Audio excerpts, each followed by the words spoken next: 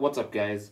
In today's tech tip, I'll be showing you how to create a custom depth effect lock screen wallpaper on your iOS 16 iPhone.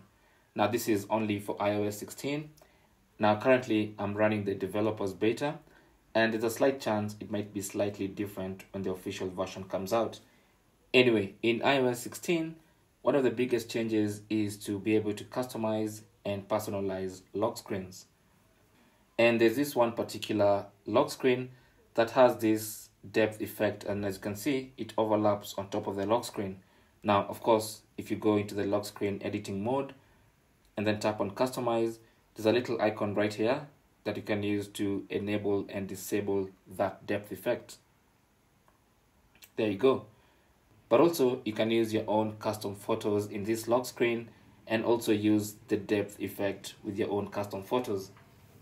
Now for this to work, you obviously need to have these photos in your gallery and the photo you use needs to have an obvious background so that the iPhone's AI can be able to pick out the background and separate it from the foreground and create that depth effect. So you need a photo with an obvious background. In fact, portrait mode photos will work best, but you can have a photo like this with an obvious background. It's very easy for iOS to be able to pick out the background and the foreground of this particular photo. So let's try and use this photo. So I'll go back to the lock screen, unlock the phone, tap and hold, and then go to the plus sign at the bottom there, choose photos, and then select that specific photo. And as you can see, iOS was able to bring up that photo, crop it in, and as you can see, it overlaps beautifully on top of that clock. So now if I tap on done to see the lock screen, that's what the lock screen looks like overlapping on top of the clock.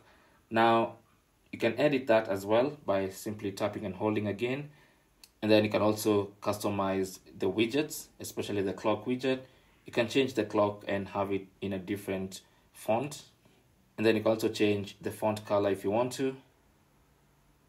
Can even change the intensity of the font color itself. And if you want to disable that depth effect, you can. Now there are two ways you can disable the depth effect.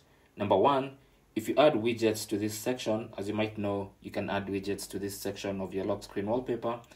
As soon as you add widgets, the depth effect will disappear and the photo will automatically go behind the widgets. So if I tap on this widget section to add a widget like uh, the activity widget and maybe even the battery widget, as you can see, the depth effect is nullified there and then. Even on the clock itself, all the widgets will come to the foreground and push the entire photo in the background. Now, if I remove the widget, it's going to remain like that.